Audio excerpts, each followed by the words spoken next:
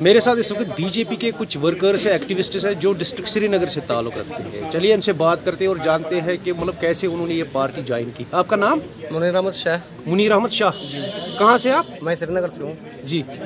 کیا ہوا؟ مطلب کیسے آپ نے مطلب بی جے پی جوائن کیا میں نے دو ہزار آٹھ میں جوائن کیا ہے تو مجھے لگا سب سے بڑی پارٹی ہے یہ نیشنل پارٹی ہے بہت بڑی پارٹی ہے مسلمانوں کی دوست بھی ہیں ہر کسی کی دوست سکھ اور کچھ بھی ہو یا سکھ مسلمان عیسائی یا ہندو ہو ایک جیسے ہیں سبھی۔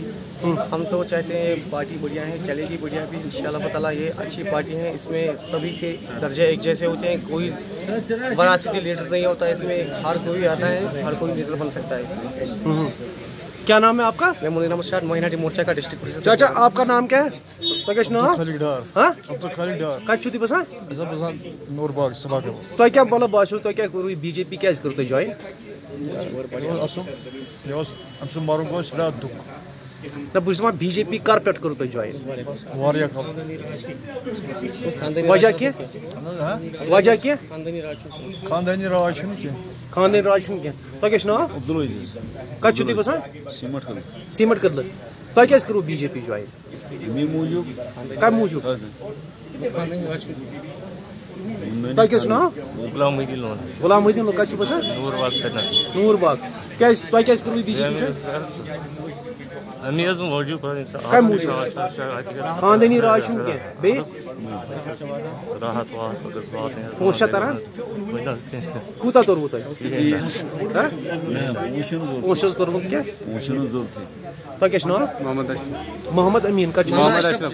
محمد اشرف تُہۍ کَتہِ بَسان اچھا تۄہہِ تۄہہِ کیٛازِ تُہۍ تہِ ؤنۍتو مےٚ تۄہہِ کیٛازِ کٔروٕ جویِن پارٹی خاندٲنی راج چھُنہٕ آرام گژھِ واتان ہر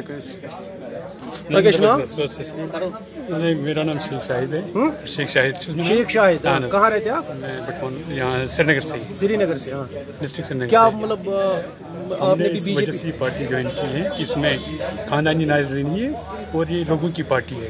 اور ہر ایک کے ساتھ ہے انسانیت انسان انصاف کرتی ہے اور آگے آگے یہ ڈیولپمنٹ کا کام بھی کر رہی ہے۔ جس جس جگہ پہ یہ ان کو کام کرنا ہے، وہ ڈیولپمنٹ کام کے لیے نکلی ہے اور لوگوں کی آرام کے لیے آسائش کے لیے۔ اور اس میں یہ خاندانی راج جیسے نیشنل کانفرنس ہے باقی باقی ہے پی ڈی پی اس میں وہ، اس میں ایسی بات نہیں۔ ہے یوزلی دیکھا جاتا ہے جو جس جو جو بھی بی جے پی پارٹی یہ جو پارٹی جوائن کرتا ہے وہ شائع رہتا ہے کیمرہ شائع ہوتا ہے۔ کیوں آپ کھل کر سامنے نہیں آتے؟ کیوں آپ شرماتے ہیں؟ ہم کھل کر سامنے آتے ہیں دو ہزار آٹھ سے ہم کھل کر سامنے آتے ہیں۔ ہم تو ڈرتے نہیں ہیں کسی کو ڈرتے ہی وہ لوگ ہیں تو وہی ڈرے گے جو ان کے پاس کچھ ہوگا اندر سے۔ لیکن ہمیں تو ڈر بھی نہیں ہے کوئی بھی نہیں ہے۔ ہم تو صرف لوگوں کے کام کرنے میں لگے ہیں ڈیولپمنٹ کے کام کرنے میں لگے ہیں۔ جو بھی ایکچولی جو لوگوں کو مصیبت میں ہونا ہوتے ہیں وہ ہمارے پاس ہم ان کے لیے کام کرتے ہیں ہم لوگوں کے نوکر ہیں۔ ہمیں لالچ کا کچھ بات نہیں سمجھو آپ سمجھے ہوں گے کہ اس میں لالچ ہے میری۔